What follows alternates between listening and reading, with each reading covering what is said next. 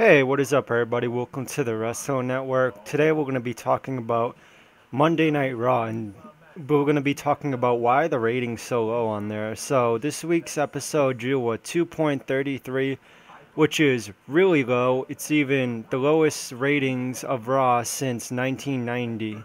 So, that's pretty amazing right there. So, we're going to be talking about why it's going down and uh, like a bunch of other stuff of why the product's going down. So let's get into it. First thing on why Monday Night Raw can be going down. A lot of people watch Monday Night Football, which is the same time that Raw is on, around 8 o'clock. So, a lot more people intrigued to watch Monday Night Football than watch WWE.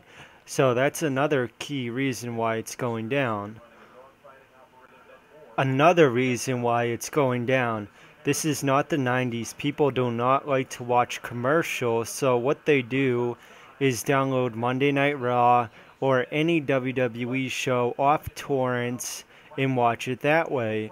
Or they have a thing called Charter Communications or a satellite dish or whatever TV brand company you have. And with these, if you have like a premium plan, you can record TV shows. So that's what I think a lot of people do. I think if they record it, I don't know if it picks up as them watching Monday Night Raw. I believe it wouldn't if you're recording it and watching it at a, at a later time. So this is not the 90s anymore. A lot of people record shows, so that could be another reason there. Because I honestly hate commercials and I record Monday Night Raw. I just cannot watch long commercials. It's just so stupid. So I definitely believe that's one of the biggest factors in it right now. Again, I don't know if you record a show if it will count it as watching it. Another reason why it could be going down is because they kind of do the same thing every week with the same people and the same kind of storylines. You know, it kind of gets boring, but I really don't see that playing a big factor. You know, this week's episode drew a 2.33, I believe it was. You know, extremely low. It was like one of the lowest episodes since 1990 again. And it, was all all right raw too, you know. Um, I the biggest factor of the night, which I liked, was the whole Kane situation of him getting his job evaluated, seeing if he was like in the right stable of mind. I think that was a really cool thing. You know, I think a lot of people would be more intrigued to that but apparently they're not. You know, it was kind of cool with Seth Rollins saying this is a bunch of crap, and then he attacks Kane. Kane gets rolled out on a stretcher. He he gets put into the ambulance. Then the Demon Kane rises up out of the ambulance, and he basically brings Seth Rollins to hell again. You know, I don't understand why people don't like to watch that, but again, I don't think that's the problem. I think we're in the new age of technology where you can record stuff, download stuff off the computer. So I think that's really what it is. Now that we mentioned the majority of the problems, which I think it is, you know, a lot of people could have different reasons on why they think the product's so down in ratings, but that's my opinion right there. Now we're going to be talking about how can WWE fix this problem. I think honestly they should just bring the whole SmackDown, Raw to the WWE network and broadcast it on there. I think a lot more people would watch it that way. You know, this is not the 90s anymore. People are more intrigued to apps and stuff. You know, people like to watch Netflix, Hulu, all that kind of stuff. So I think that would intrigue more people, even though it would be 9.99 I think you'll get a good product because you're paying for it.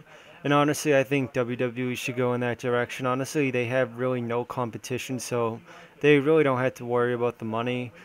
But again, the network is really huge and they're getting such a big profit. I don't even think it would matter. Anyways, bringing their WWE Raw and WWE SmackDown to their network, you know, and just take it off live television. I think that would really save their asses right there. But yeah, that's just what I think they should do. I think it would be a really better idea to do it that way. So we're going to see what happens on Monday Night Raw.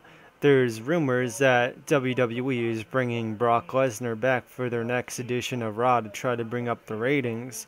Which again, they should do stuff like this, get all these news rumors spread out of like a superstar returning like Brock Lesnar so people know in advance and maybe they'll watch the episode of Raw on TV. So they should really bring their product out more of like surprise returns or big matches or whatever.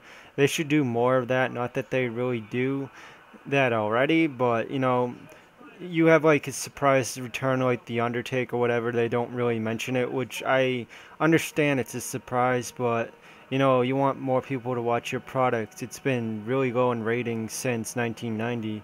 So I think they should do that, like bring out their product more and list maybe like you don't have to say who it is. You could put like a a big question mark. Um, big superstar returns on Monday Night Raw tonight or something like that. You know, you don't have to give their identity away and spoil the edition of the episode. You know, I understand why you don't want to spoil it and just give it away right away. So you could do something like that.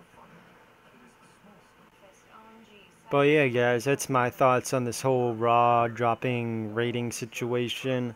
So if you have any additional information on why you think their product is dropping, definitely share it down in the comments down below. It's always fun seeing what you guys have to say.